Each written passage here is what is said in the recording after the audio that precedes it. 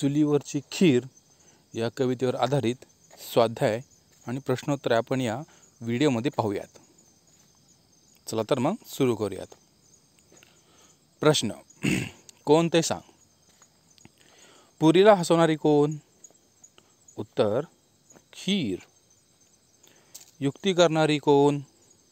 उत्तर. ताई. ताटात जाऊन बसणारी कोण? उत्तर. पुरी. वाटीत बसून येणारे कोण?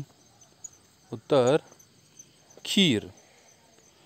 पुरीला टोचलेले हत्यार कोणते? उत्तर झारा. आता पाहूयात पुढले प्रश्न.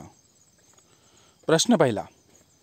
खिरीची आणि पुरीची गट्टी होण्यासाठी ताईने कोणती युक्ती केली असेल? उत्तर. ताईने पुरीला खिरीसोबत बुडवून ठेवले असेल. प्रश्न दुसरा. जेवणात खीर पुरी यांची जोडी असते. तशी तुझ्या जेवणात कोणकोणत्या पदार्थांची जोडी असते ते सांग. उत्तर.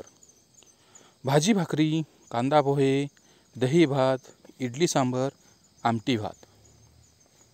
प्रश्न तिसरा. शेवटच्या अक्षरांचा उच्चार सारखा असणाऱ्या कवितेतील शब्दांच्या जोड्या सांग. उत्तर.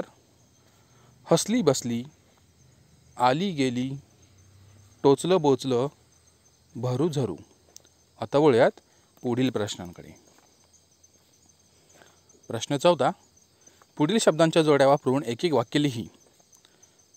पातेलं खीर. ताईने पातेल्यात खीर करून ठेवली होती. कढई पुरी. कढईमधील पुरी रुसून बसली होती. झारा पुरी.